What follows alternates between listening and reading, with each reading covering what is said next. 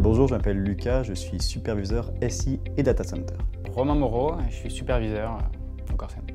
Un superviseur SI et Data Center, ça travaille en service continu pour euh, assurer en fait, la disponibilité de, tous les outils euh, informatiques, à la fois aux, clients de RTE, au, personnel de RTE et aux prestataires, pour permettre la mission de RTE, le transport d'électricité en permanence, euh, de jour comme de nuit, 7 jours sur 7, 365 jours par an. Les data centers demandent du temps réel, demandent énormément de données qui viennent de toute la France, on va essayer d'intégrer des nouvelles technologies, euh, des technologies comme le cloud, comme la virtualisation, comme euh, la containerisation des applications, sur des challenges de haute disponibilité et de temps réel. L'activité du Corsen, elle s'inscrit pleinement dans cette mission de service public, puisque euh, notre mission, c'est vraiment d'assurer qu'en temps réel, toutes les activités de RTE vont pouvoir continuer à fonctionner, que le SI puisse continuer à délivrer les performances nécessaires pour l'acheminement de l'électricité en France. Le fait d'être dans une salle commune permet de fluidifier les échanges et de pouvoir résoudre les incidents plus rapidement et plus facilement qu'auparavant.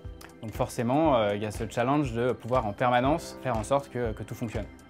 RTE a fortement mis l'accent sur la formation, donc au départ on est formé euh, sur de nombreuses euh, thématiques liées au SI de l'entreprise et on va continuer tout au long de notre parcours à être formé régulièrement sur les dernières technologies.